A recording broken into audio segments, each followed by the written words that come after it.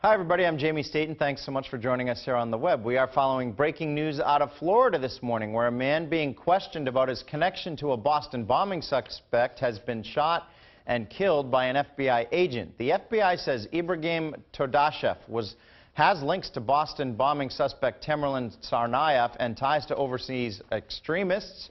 Just after midnight this morning, Todashev tried to attack an agent questioning him in Orlando and was fatally shot. Lightning may have sparked a house fire in Exeter this morning. Fire crews responded to the home on Fox Chapel Court just before 2 a.m. They found smoke coming out of the attic windows and the roof was on fire. No one was hurt. Although the fire remains under investigation, crews think it started from a lightning strike. New Hampshire's House will vote today on a bill to allow a new casino in the Granite State. Last week, a House committee narrowly voted against the legislation, but today it goes before the full House. The proposal calls for one new casino with up to 5,000 slot machines and 150 table games.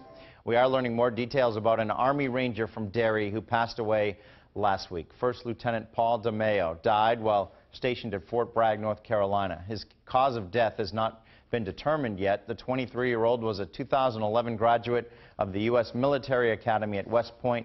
He graduated from Pinkerton Academy in 2007, where he served in the Air Force Junior ROTC program.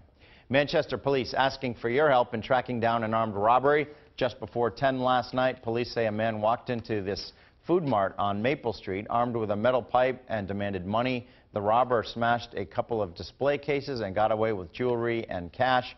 Anyone with information is asked to contact Manchester Police. That's your morning webcast. Have a great day.